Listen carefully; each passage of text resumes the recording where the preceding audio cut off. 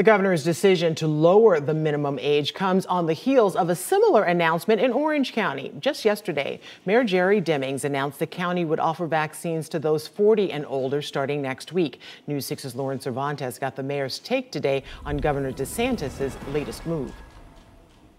It's not his decision to make. Um, so, you know, it's just there's a there's a, a, structure in the state of Florida in terms of how these decisions are made. That's the governor's opinion about it. Obviously, as the mayor of Orange County, I have to make decisions in the best interest of the residents here of Orange County. Mayor Jerry Demings responding to Governor Ron DeSantis' comments this morning after the mayor announced yesterday that he would be lowering the age eligibility in Orange County to 40 and older at the Orange County Convention Center starting next Monday. While just today, the governor signed an executive order with the age listed at 50 plus. Who knows best what is unique to every local community better than the people who live in those communities. So we had a depressed demand for vaccine here within our community, and we had capacity that was really not being used with the available vaccine.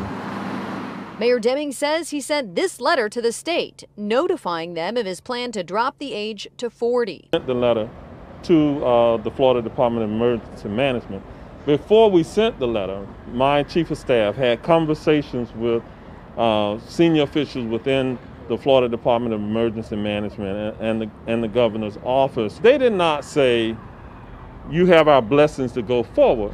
What they said was, we understand, we can't say you can't do it, uh, so we will inform our uh, superiors here, and I assume that's what happened.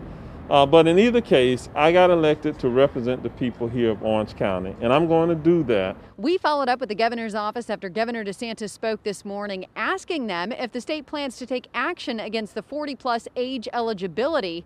And the governor's press secretary said, quote, local officials are expected to follow the parameters of the governor's executive orders. In Orange County, I'm Lauren Cervantes, getting results, News 6.